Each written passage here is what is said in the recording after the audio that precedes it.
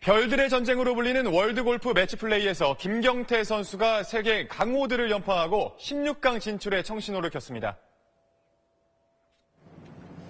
대기 순번이었다가 최하위 64번 시드로 출전한 김경태 선수.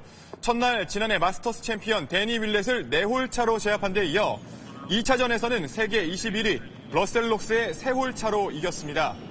2연승을 거둔 김경태는 3차전에서 빌 하스와 비기기만 해도 조 1위로 16강에 진출하게 됩니다.